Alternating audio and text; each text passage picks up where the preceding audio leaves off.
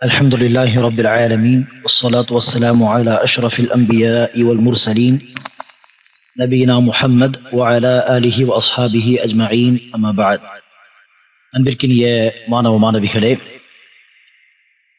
இன்று நாம் பிரபலமான முஹத்திசீன்களில் ஒரு முஹத்திஸாகிய அஹ்மத் பின் அப்துல் ஹலீம் இப்னு தைமியா அல் ஹர்ரானி ரஹிமஹுல்லா அவர்களை குறித்து ஒரு சில தகவல்களை நாம் பார்க்கலாம். இவர்கள் ஏழாம் நூற்றாண்டில் அறுநூத்தி அறுபதுக்கு பிறகு பிறந்தவர்கள். இவர்கள் முஹத்திஸ் மட்டுமே கிடையாது மாறாக மார்க்கத்தை சார்ந்த எல்லா துறைகளிலும் தன்னுடைய முயற்சிகளை செலவு செய்த ஒரு மிகப்பெரிய ஆலிமாக திகழ்ந்தவர். ஹதீஸ் துறை என்று எடுத்துக்கொண்டால் இமாம் ஜஹபி என்கிற முஹத்தீஸ் குறிப்பிடுகிறார்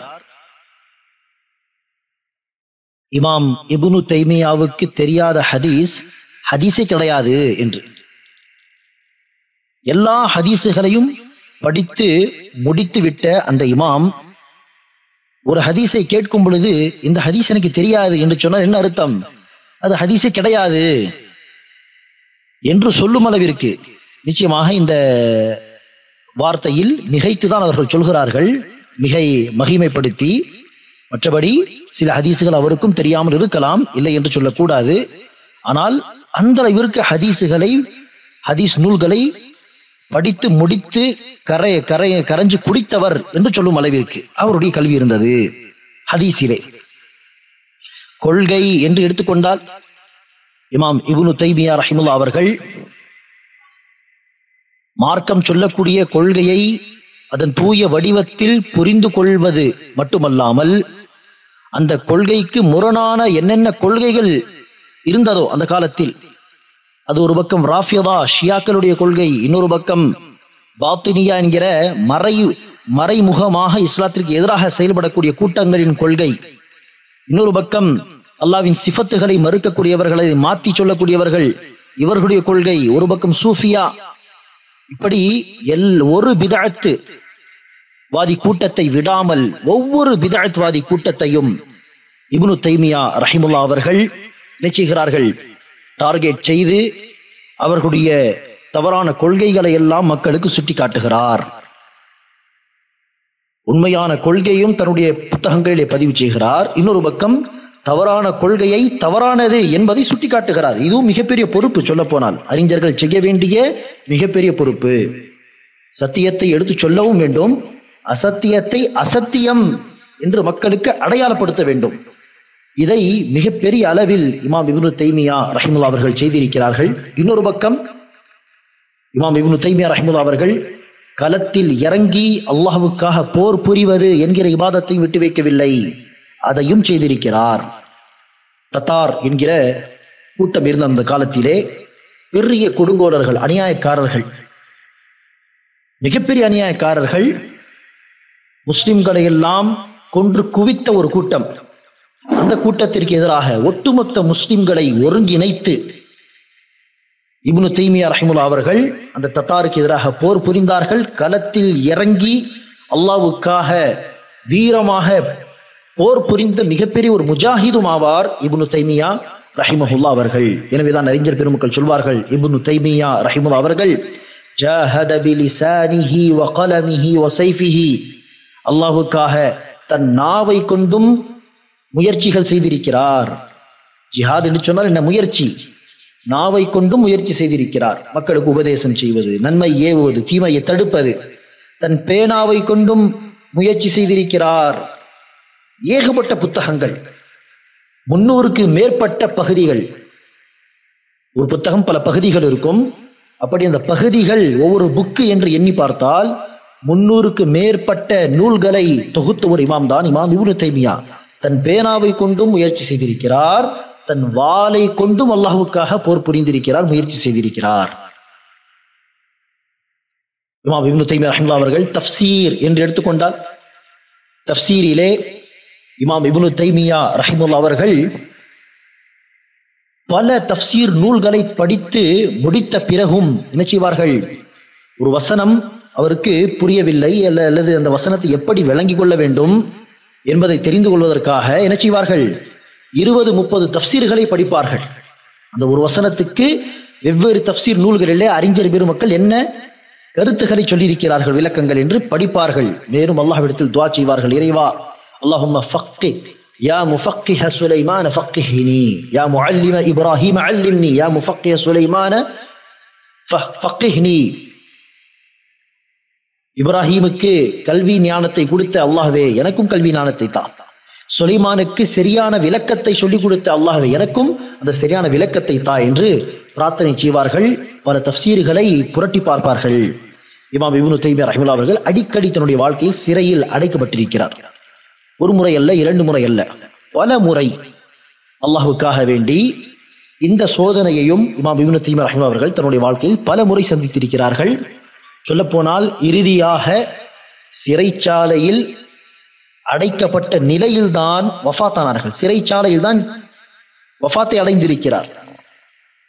சிறைச்சாலையில் போட்டவர்கள் யார்? முஸ்லிம் அல்லாத எதிரிகள் அல்ல. முஸ்லிம்களில் இருக்கக்கூடிய இவனு தீமையாவை வெறுக்கக்கூடிய மக்கள் பிதாத்துவாதிகள். நான் சொல்ல வந்த செய்தி என்னவென்றால் சிறைச்சாலையில் சென்று விட்டால் அங்கு நிறைய புத்தகங்கள் எடுத்துச் செல்ல முடியாது படிக்க முடியாது.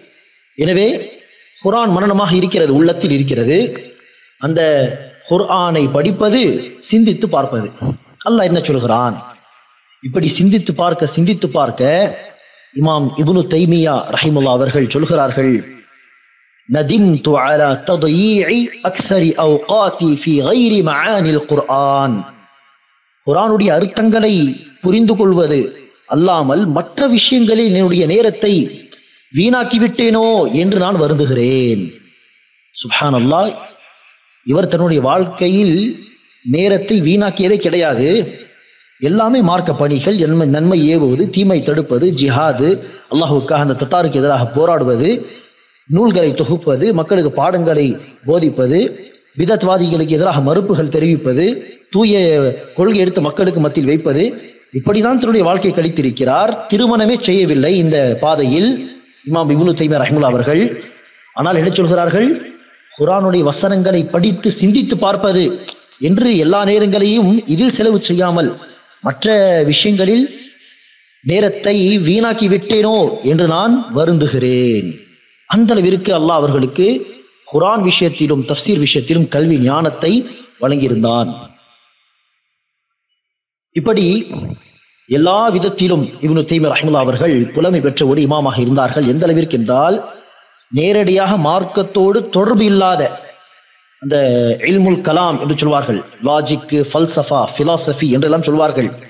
அந்த கல்வியிலும் இவர்களுக்கு புலமை இருந்தது. எந்த அளவிற்கு என்றால் அந்த மக்களோடு பேசும் பொழுது இபுனு தைமியா ரஹ்முல்லா அவர்கள் அந்த கல்வித்துறையை சார்ந்த மக்களே பதில் சொல்ல முடியாத அளவிற்கு நினைச்சுவார்கள் பேசுவார்கள் விவாதிப்பார்கள். எனவேதான் இப்னு தக்கீக் அல் ஈத் என்கிற முஹத்திஸ் குறிப்பிடுகிறார். நான் இப்னு தைமியாவை பார்த்தேன். எப்படி இருந்தார்கள் என்று சொன்னால் அவருடைய கண்களுக்கு முன்னால் எல்லா கல்வித்துறைகளும் எல்லா கல்வித்துறைகளும் அவருடைய கண்களுக்கு முன்னால் இருக்கிறது. விரும்பியதை எடுத்துக்கொண்டு வி- விரும்பியதை விட்டு விடுவது என்கிற அளவிற்கு அவர்களுடைய கல்வி ஞானம் இருந்தது. எந்த டாப்பிக்கை எடுத்தாலும் அதை குறித்து பேசுகின்ற அளவிற்கு அவர்களுக்கு கல்வி ஞானம் இருந்தது. இப்படிப்பட்ட ஒரு அறிஞராக இருந்தால் நிச்சயமாக எதிரிகளும் அதிகமாக இருப்பார்கள் இல்லையா? எனவே இபுனு தைமியா ரஹ்முல்லா அவர்களுக்கு பல எதிரிகள் இருந்தார்கள். அந்த எதிரிகளில் மிக முக்கியமாக பிதாழ்த்துவாதிகள் தான். தத்தார் ஒரு பக்கம் இருக்கட்டும். பிற்காலத்தில் எல்லா அவர்களுக்கும் நேர்வழியை காட்டினான். நேரடியாக வந்து போரில் மோதுவார்கள். ஆனால் பிதாழ்த்துவாதிகள் சுன்னாவுக்காக குரான் ஹதீஸுக்காக பாடுபடுகிறார் என்கிற ஒரே காரணத்திற்காக விதாழ்த்துவாதிகள் எதிர்த்தார்கள். ஏன்? குரான் சுன்னாவை போதிக்கக்கூடியவர். பிதாத் சுன்னாவுக்கு அப்படி முரணானது. சுன்னாவும் பிதாத்தும் ஒரு இடத்தில் ஒன்று சேராது.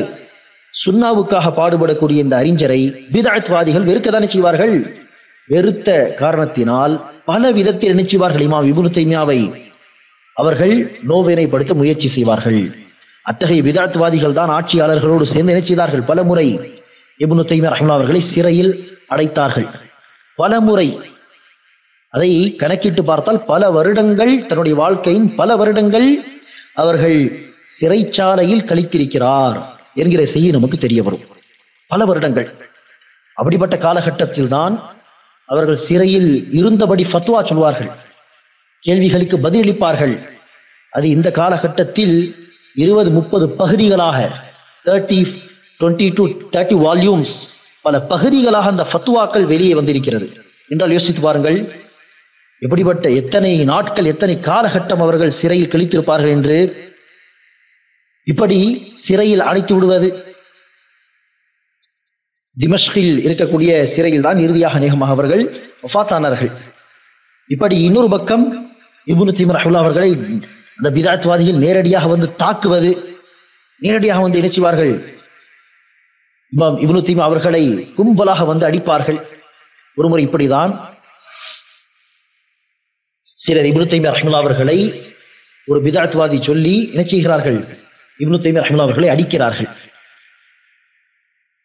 பிறகு இந்த செய்தி தெரிந்தவுடன் இப்னு தைமியா ரஹ்முல்லா அவர்களை நேசிக்கக்கூடியவர்கள் வந்து இன்னார் இப்படி உங்கள் உங்களோடு செய்தார்கள் என்று நாம் கேள்விப்பட்டோம். அவனை நாங்கள் விட விட மாட்டோம் என்று கோபமாக பேச இப்னு தைமியா அவர்கள் சொன்னார்கள் இல்லை நீங்கள் எனக்காக யாரையும் சென்று அடிக்கக்கூடாது என்று அவர்கள் சொன்ன பிறகும் அந்த மக்கள் நினைச்சவில்லை பொறுமையாக இருக்கவில்லை. அவனை அந்த குறிப்பிட்ட ஒரு விதாயத்துவாதியை யார் சொல்லி அந்த கும்பல் வந்ததோ அவனை அடிக்க போகும் பொழுது அந்த விதாயத்துவாதி என்ன செய்கிறான்? எங்கு போனாலும் தப்பிக்க முடியாது என்று எபுனு தேமியாவிடம் வருகிறான் அடைக்கலம் தேடி. எனக்கு உங்கள் வீட்டில் இடம் தாருங்கள் என்று. எனவே இபுனு தைமியா ரஹ்முல்லா அவர்கள் என்ன செய்கிறார்கள்? அந்த மக்கள் வந்து இவரை அடித்து விடக் கூடாது என்று தன் வீட்டிலே அடைக்கலம் தருகிறார். சுபானல்லா எப்படிப்பட்ட அஹ்லாஹ் என்று பாருங்கள். எப்படிப்பட்ட மனப்பான்மை மன்னிக்க வேண்டும் என்கிற மனப்பான்மையை பாருங்கள். மன்னித்து விட்டு தன்னை தாக்கிய நபரை நினைச்சுகிறார்கள் அவரை யாரும் தாக்கிவிடக் கூடாது என்று அடைக்கலம் தருகிறார். இப்படிதான் ஒரு மிகப்பெரிய விதாயத்துவாதி அடிக்கடி இபுனு தைமியாவை நோவினை செய்பவன் இறந்து விடுகிறான். அதற்கு இமாம் இபுனு தைமியாவுடைய மாணவர் இபுனுல் கையீம் ரஹிமுல் அவர்களும் மிகப்பெரிய ஒரு முஹத்தீஸ் மிகப்பெரிய ஆலிம் அறிஞர் வந்து சொல்கிறார்கள் அவன் இறந்து விட்டான். உங்களுக்கு ஒரு நற்செய்தி. அவன் இறந்து விட்டான் என்று சொல்ல இப்னு தீமார்கள் சொன்னார்கள் என்னது நற்செய்தியா? எப்படிப்பட்ட பேச்சு இது? இப்படியெல்லாம் சொல்லக்கூடாது என்று உடனே சென்று இறந்தவருடைய உறவினர்களை சந்தித்து ஆறுதல் கூறி உங்களுக்கு ஏதாவது ஒரு உதவி என்று சொல்லி தேவைப்பட்டால் என்னிடம் கேளுங்கள். நான் உங்களுக்கு பொருளாதார ரீதியாக மற்ற உதவிகள் செய்வதற்கு நான் தயாராக இருக்கிறேன் என்று சென்று ஆறுதல் சொல்லி வந்தார்கள். இப்படி அஹ்லாக் என்று எடுத்துக்கொண்டாலும் இவர் தீமர் ரஹிமுல்லா அவர்களுடைய ஒரு வாழ்க்கையில் பல அழகான பக்கங்கள் உண்டு. அதே போல இபுனு தீமர் ரஹிமுல்லாவுடைய இபாதத் என்று எடுத்துக்கொண்டால் நீண்ட நேரம் தொழுவார்கள். நீண்ட நேரம் திக்ரு செய்வார்கள். இபாதத்திலும் தன்னுடைய நேரங்களை செலவு செய்வார்கள். இப்னுல் கையும் ரஹிமஹுல்லா அவர்கள் குறிப்பிடுகிறார் ஒருமுறை நான் ஃபஜர் தொழுகைக்கு பிறகு இப்னு தைமியா ரஹிமஹுல்லா அவர்களை சந்தித்து பேசலாம் என்று வருகிறேன். வந்து பார்த்தால் அவர்கள் திக்ரு செய்து கொண்டிருந்தார்கள். சிறிது நேரம் கழித்து வரலாம் என்று வந்தால் அதே இடத்தில் உட்கார்ந்து திக்ரு செய்து கொண்டிருந்தார்கள். சிறிது நேரம் கழித்து வரலாம் என்று பார்த்தால் வந்து பார்க்கும் பார்க்கும் பொழுதும் அதே இடத்தில் உட்கார்ந்து திக்ரு செய்து கொண்டிருந்தார்கள். எந்த அளவிற்கு என்றால் துஹர் தொழுகை நேரமே நெருங்கிவிட்டது.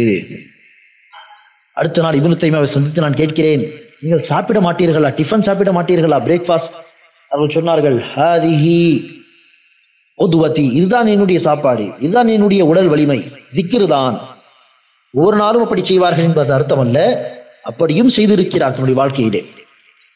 இப்படி இபாதத் என்று எடுத்துக்கொண்டாலும் இவரு தைமி ரஹிமுல்லா அவர்கள் உண்மையிலே ஒரு இமாமாக அவரை பார்த்து பின்பற்றும் அளவிற்கு அவர்களுடைய வாழ்க்கை இருந்திருக்கிறது. இமாம் இவனு தைமி ரஹிமுல்லா அவர்கள் இந்த தத்தாருக்கு எதிராக போராடுவதற்கு பல முயற்சிகள் செய்வதற்கு பயணத்தில் இருப்பார்கள். இப்படி எகிப்திலே தொடர்ந்து பல நாட்கள் பல மாதங்கள் எகிப்தில் தங்க வேண்டிய ஒரு நிர்பந்தம் ஏற்பட்டது. அவருக்கு மனைவி கிடையாது அவர்கள் திருமணம் முடிக்கவில்லை என்று சொன்னோம். தந்தை தாயை விட்டு பல மாதங்கள் பிரிந்திருக்கிறார். எனவே தாய்க்கு ஒரு கடிதம் எழுதுகிறார். எக்ஸ்கியூஸ் கேட்பதற்கு. பல மாதங்களாக என்னால் வர முடியவில்லையே என்பது என்பதை எடுத்துச் சொல்வதற்கு ஒரு கடிதம் எழுதி தாய்க்கு சொல்கிறார். இப்படி நான் உங்களை பார்க்க வேண்டும். உங்களை சந்திக்க வேண்டும். உங்களிடம் வந்துவிட வேண்டும் என்பதுதான் என்னுடைய ஆசை. எனக்கு பறவைகளுக்கு ரக்கைகள் இருப்பது போல் ரக்கைகள் இருந்திருந்தால் இப்போவே நான் பறந்து வந்திருப்பேன். ஆனால் என்னால் வர முடியாது. பல வேலைகள் உண்டு. அது உம்மத்துக்காக எனக்காக அல்ல உம்மத்துக்காக. மார்க்கத்திற்காக இந்த நேரம் செலவு செய்ய வேண்டிய ஒரு சூழ்நிலை. எனவே அங்கு என்னால் வர முடியவில்லை என்று காரணத்தை சொல்கிறார் எக்ஸ்கியூஸ் சொல்கிறார் மன்னிப்பு கேட்கிறார். அதற்கு அந்த தாய் பாருங்கள் எப்படி இருக்கிறார்கள். இப்னு தைமியாவுடைய தாய். அவர்கள் கடிதம் எழுதி பதிலிலே சொல்கிறார்கள். உம்மத்துக்காக மார்க்கத்திற்காக நான் நீ பாடுபடுகிறாயே முயற்சி செய்கிறாயே இதனுடைய பொறுப்பு. இந்த பொறுப்பை நீ செய்யாவிட்டால் நான் உன்னை உன்னிடம் கேள்வி கேட்பேன். இந்த பொறுப்பை நீ செய்யாமல் இருந்து விடக்கூடாது. இல்லை என்றால் நான் உன்னிடம் கேள்வி கேட்பேன். உனக்கு எதிராக அல்லாவிடம் முறை முறையிடுவேன். இது என்னுடைய பொறுப்பு அதை நீ கவலை இல்லாமல் செய் என்று அந்த தாய் பதிலளித்தார்கள். இப்படி இமாம் இப்னு தைமியா ரஹ்முல்லா அவர்கள் வாழ்நாள் முழுவதும் தன்னுடைய நேரங்களை மார்க்கத்திற்காக செலவு செய்து பல விதத்திலே மார்க்கத்திற்கு பல சேவைகளை செய்த மிகப்பெரிய ஒரு இமாமாக திகழ்ந்திருக்கிறார்கள். இவர்கள் பாடம் சொல்லிக் கொடுத்து மிகப்பெரிய பெரிய உலமாக்கள் உருவாக்கப்பட்டார்கள். இப்னு தைமியா ரஹ்முல்லா அவர்களுடைய மாணவர்களில் ஒருவர்தான் இபுனுல் கையம் என்கிற மிக பிரபலமான ஒரு அறிஞர். நபி வழி மருத்துவம் என்கிற நூலை நீங்கள் பார்த்திருக்கலாம். அந்த நபி வழி மருத்துவம் என்கிற நூலை தொகுத்த இமாம் இபுனுல் கையம் இபுனு தீமியாவுடைய மாணவர். இமாம் ஜஹபி தப்சீர் இபுனு கசீர் என்று எல்லோரும் கேள்விப்பட்டிருப்போமே. இபுனு கசீர் ரஹிமுல்லா அவர்கள் இபுனு தீமியா ரஹிமுல்லா அவர்களுடைய மாணவர். இப்படி பல பெரிய பெரிய அறிஞர்கள் இபுனு தைமியா அவர்களுடைய மாணவர்களாக இருந்திருக்கிறார்கள். இமாம் இபுனு தைமியா ரஹிமுல் அவர்களை குறித்து இமாம் ஜஹபி அவருடைய மாணவர் சொல்கிறார் நான் கபத்துல்லாவிலே இன்று சத்தியம் செய்து அல்லாவின் மீது ஆணையாக என்று சொல்லி சத்தியம் செய்து நான் இபுனு தேமியாவை போன்ற ஒரு அறிஞரை பார்த்ததே கிடையாது. ஏன் இபுனு தேமியாவே தன்னை போன்ற ஒரு அறிஞரை வாழ்நாளில் பார்த்தது கிடையாது என்று சொன்னால் அது பொய் சத்தியமாக ஆகாது. நான் சத்தியம் செய்தது வீணாக போகாது. ஏனெனில் அதுதான் உண்மை. அதுதான் சத்தியம் என்று இமாம் ஜஹபி ரஹிமஹுல்லா அவர்கள் குறிப்பிடுகிறார்கள். இமாம் இப்னு தைமியா ரஹிமுல்லா அவர்கள் அந்த காலகட்டத்தில் அதாவது ஏழாம் நூற்றாண்டில் இறந்து எட்டாம் நூற்றாண்டு ஆரம்பம் வரை தன்னுடைய முயற்சிகளை எல்லாம் செய்தார்கள் தன்னுடைய பணிகளை எல்லாம் செய்தார்கள். அந்த பணியின் தாக்கம் இன்று கூட இருந்து கொண்டிருக்கிறது. சில அறிஞர்கள் இருப்பார்கள் அவர்களுடைய பணிகளின் தாக்கம் அந்த நூற்றாண்டில் இருக்கும். அதற்கு பிறகு அடுத்த மக்கள் வருவார்கள் அந்த மக்களுடைய தாக்கம் பிரதிபலிக்கும். இப்படி. ஆனால் இபுனு தைமியா ரஹிமுல்லா அவர்கள் எப்படிப்பட்ட ஒரு அறிஞர் என்று சொன்னால் அவர் செய்த அந்த பணிகளின் தாக்கம் அந்த நூற்றாண்டோடு முடிந்து அடுத்து வரக்கூடிய அறிஞரின் தாக்கம் ஏற்பட்டு இவருடைய அந்த பணிகளை மக்கள் மறந்து ஓரளவுக்கு அப்படி இல்லாமல் இன்று வரை கூட இப்னு தைமியா ரஹிமுல்லா அவர்களுடைய அந்த இன்ஃப்ளூயன்ஸ் அந்த தாக்கம் இருந்து கொண்டுதான் இருக்கிறது. அப்படிப்பட்ட சில அறிஞர்களில் இப்னு தைமியா ரஹிமுல்லா அவர்களும் ஒருவராக இருந்திருக்கிறார்கள். அல்லாஹ் சுபானுவத்தால் இப்னு தைமியா ரஹிமுல்லா அவர்களை கொண்டு பெரிய பணியை மார்க்கத்திற்காக பெரிய பணியை பல வேலைகளை வாங்கியிருக்கிறான் இப்னு தைமியா ரஹிபஹுல்லா அவர்களுடைய இந்த கல்வி விசாலமான அந்த கல்வியை குறித்து ஒரு நபர் நினைச்சுகிறார் ஒரு அறிஞரிடம் கேட்கிறார். இவனு தைமியா யார்? அதற்கு அந்த அறிஞர் கேட்கிறார் அல் ரைத்தல் குப்பத் சஹரா?